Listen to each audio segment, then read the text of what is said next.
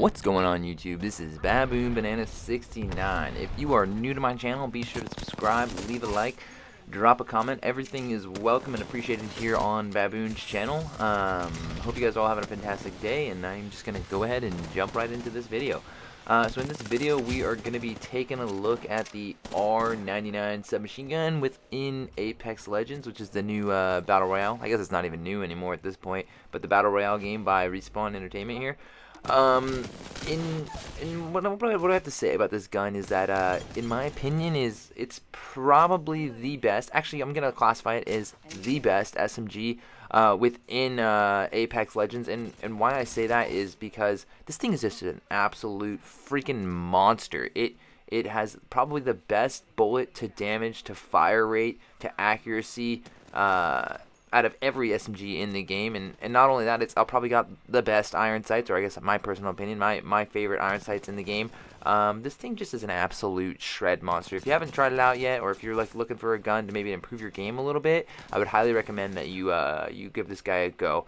um, let me uh, just quickly dive in and talk about really quickly um, what what the other two SMGs are in the game if you don't actually know. So there's the alternator, which has very low damage, very low fire rate and has this little semi red dot looking thing on uh, that it comes default with, which is okay, but honestly, I just find it that it does not have enough bullets. Maybe I don't have the best accuracy, but I just find that it doesn't have enough bullets to simply kill anyone other other than somebody without shield. Um, it's got a slower fire rate than the R99, and I believe it does less damage. This gun does anywhere between, I don't know, 40 to 70 or 115 I think I've seen it do a couple of times. And to add to that this thing shoots about three times as fast as the alternator and I'm pretty sure that it comes standard with um, 18 bullets and the alternator I think comes standard with 16 I, I might be saying those numbers wrong. I, I don't know them all off the top of my head and I, I can uh, correct myself here later. Uh, the other thing I can say about this gun is it has fantastic hip fire and spray ability compared to the other guns it seems to just like want to melt people up close, whereas the alternator kind of just wants to seem to shoot little BBs at them. Um, and then finally, the other SMG that's available in the game is the Prowler. Uh, it takes heavy ammo if you haven't, if you uh, if you don't know. So heavy ammo is the green ammo. It doesn't take the uh, the sub SMG or the the light ammo that is. And uh, why it takes heavy ammo is because it does do significant damage. However, it is a five round burst SMG type thing. It, it shoots really quickly, so uh, generally the burst isn't too big of a deal for me. There's actually also a mod you can put on it, or whatever they call it in this game, where you can make it full auto.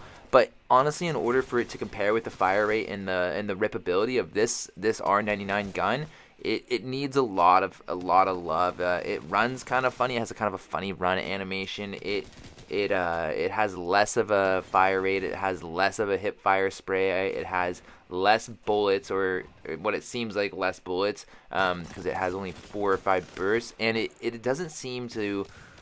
I don't. It just doesn't seem to produce for me that often. I, I much prefer the R99 to the to the Prowler.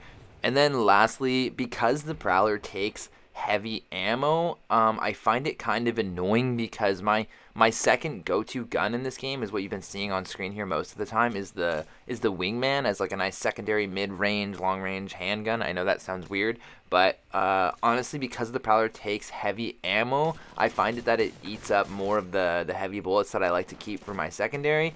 But that's just, uh, again, that's just my opinion. I have no factual evidence or no statistics to prove that uh, this gun is better than any of the other submachine guns. This is just my personal thoughts and opinions on the matter, uh, on which guns I seem to do the best with. Anyways, guys, I hope you enjoyed just nice, quick little video there talking about what I believe the best SMG is within Apex Legends. Be sure to subscribe, drop a like, leave a comment. Take care. Till next time, this has been your host, Baboon Banana.